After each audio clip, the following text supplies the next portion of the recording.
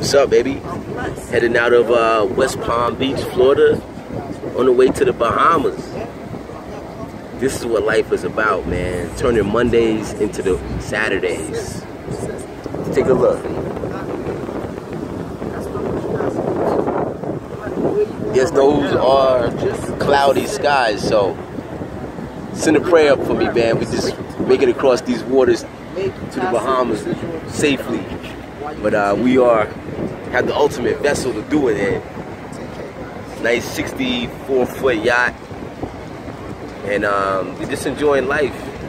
Enjoying the, you know, this fruits of our labor basically. Me and my main man, Roy F. Got the crew up there navigating us through these waters. But um, this is what the Highway to Freedom is all about. You guys a lot of see me posting Highway to Freedom, success, ambition, making it to the top. This is what it's all about, turning Mondays into Saturdays and just enjoying life. This is Monday, right? Yeah, this is Monday. I'm cruising, baby. See you in the Bahamas. Peace.